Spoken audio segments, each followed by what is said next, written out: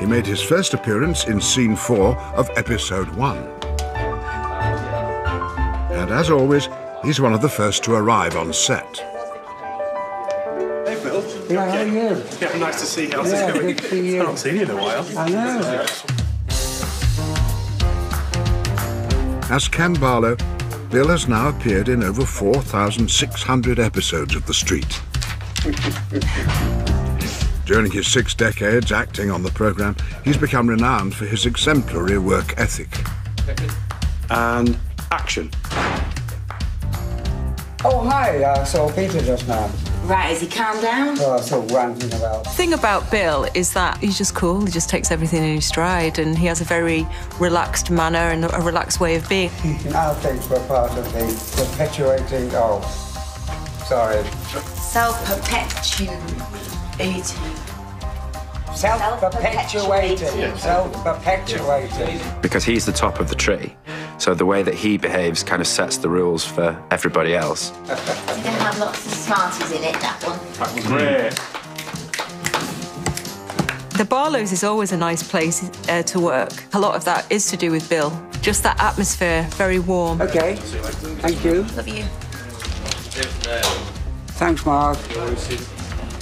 That never ever happens to Bill. He never ever gets a word wrong or drops it ever. so just on this day, self-perpetuating was particularly peculiar.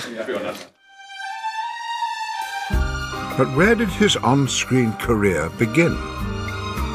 Back in 1958, as an ambitious 26-year-old actor, William Roache made his first appearance on screen. I don't get it. We're all here for this one registrarship? I was told there wouldn't be more than three applicants. But they've advertised for an anaesthetist as well. Over the following couple of years, Bill's star continued to rise. Must be they made up their minds And I got a lead in a television play called Marking Time. That was filmed at Granada. This was going to make me a career, quantum move forward, brilliant. And while I was filming that, unbeknown to me, Tony Warren pointed to me and said, He's the one I want for Ken Barlow. 24-year-old writer Tony Warren may have felt he'd found the perfect Ken for his new drama set in a street in Salford, but Bill wasn't so keen. My agent persuaded me to come up and do the pilot. He said, You're not working, you've got nothing on, might as well do it. And this is the contract, which I don't ever remember seeing. So I'll have a look at it now. I wonder how much money I got for doing the pilot. Wow. 21 pounds. It was called Florizel Street when we started rehearsing and everything. And I remember coming into the room and I said Florizel. And, and a groan went up. Apparently, a lot of people have been not liking it. And one of the cleaners had said it sounds like a sanitary detergent.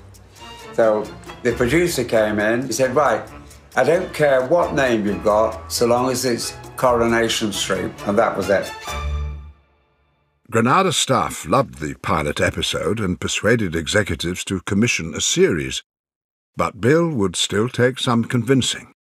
I've got my flat in London and a lot's going to happen. I don't want to do a thing which is just in the north, a little northern comedy, I thought. And then, anyway, my agent persuaded me. He said, Well, look at it this way, Bill. It's only going to run for 11 weeks. That's all it's going to do. So I said, OK, I'll do it. Um, and it's been a very long 11 weeks. Bill was 28 years old when the very first episode was broadcast on the 9th of December, 1960. Oh, no. Don't they do this at college then? Surrounded by northern working class characters, Ken Barlow stood out as the intellectual on the street.